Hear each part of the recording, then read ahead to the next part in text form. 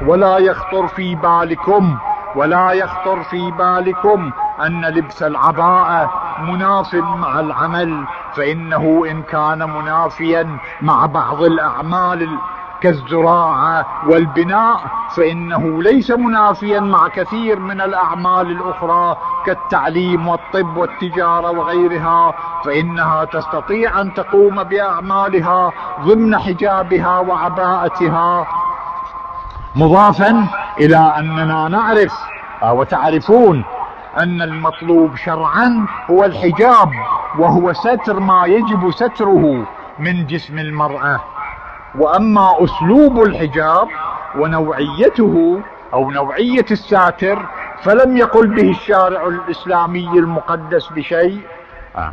اذا فيمكن أن يكون بأي طريقة متيسرة وهذا هو الذي يسمى بالحجاب الشرعي إذا كان مربوطا من ناحية وغير مثير غالبي ونوعي للغريزة كما لو كان جميلا جدا أو ملونا أو مشغولا بأشكال التطريز. لا هذا ما يجوز حبيبي. آه. فتلبس المرأة بما يسمى جبة بسيطة وربطة بسيطة ولكنها مضبوطة وتعمل اعتيادي ولكننا مع ذلك لا ننصح النساء اللابسات للعباءة أن يبدلن إلى ذلك الزي لا لأن العباءة على أي حال هي الاخوط استحبابا والأنسب بالاتجاه الأخلاقي إلا أن هذا لا ينبغي أن يؤدي إلا أن هذا لا ينبغي أن يؤدي إلى القول بأن الدين منع عن العمل المنافي للبس العباءة. لا لا لا نستطيع أن نقول ذلك. نعم من كان من الفقهاء من يوجب ولو بالاحتياط الوجوبي ستر الوجه للمرأة كآية الله الخوئي قدس سره وغيره وغيره.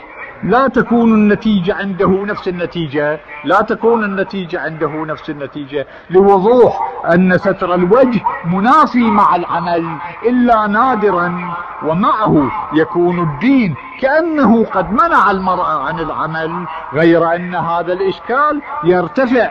فيما إذا قلنا كما هو الصحيح بجواز كشف الوجه والكفين لها ويكون العمل ميسورا لها بهذه الطريقة. ولكننا هنا أيضا نقول إننا لا ننصح للملتزمات بستر الوجه بالبوشية ونحوها أن يكشفن وجوههن. اولا لأن الستر ستر الوجه احوط استحبابا وثانيا لأن الكشف فيه مظنة الفتنة والإثارة الجنسية وخاصة إذا كانت المرأة حسناء نسبيا.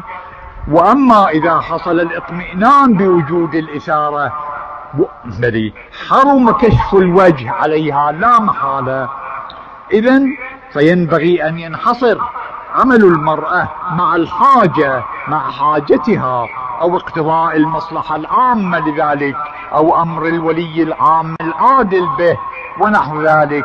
وكل هذه الموارد كثيرة ومحترمة شرعا واجتماعيا. وأما بدون ذلك فالأفضل للمرأة أن تتكفل بيتها وأسرتها كما في الحكمة جهاد المرأة حسن التبعل.